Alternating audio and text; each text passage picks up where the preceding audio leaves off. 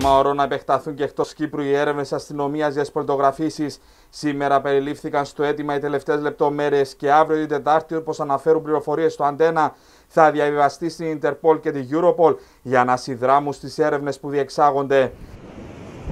Οι Κυπριακές Αρχές έχουν εξασφαλίσει στοιχεία για τρία συγκεκριμένα πρόσωπα από το Ιράν που ευρίσκονται σε ευρωπαϊκή χώρα και θα ζητήσουν εκτέλεση των ενταλμάτων σύλληψής τους. Έχουν εκδοθεί κάποια εντάλματα σύλληψη τα οποία εκκρεμούν. Ήδη έχουν ανακριθεί κάποια πρόσωπα. Τα πρόσωπα τα οποία έχουν γίνει σε αυτούς κάποιες έρευνες έχουν κληθεί ε, στο ΤΑΕ αρχηγείο όπου έχουν ήδη ε, ληφθεί κάποιες καταθέσεις. Στην υποδιεύθυνση ηλεκτρονικού εγκλήματος, οι ανακριτές κάνουν φύλλο και φτεροϋπολογιστέ σε έγγραφα και άλλα τεκμήρια που έχουν παραληφθεί κατά τη μεγάλη επιχείρηση την περασμένη εβδομάδα σε γραφεία και οικίες στη Λάρνακα. Εκεί και όπου εξασφαλίζεται μαστηρία για συγκεκριμένα υποστατικά ή και για πρόσωπα τα οποία ενέχονται, γίνονται άμεσες ενέργειες για την έκδοση τέτοιων ενταλμάτων.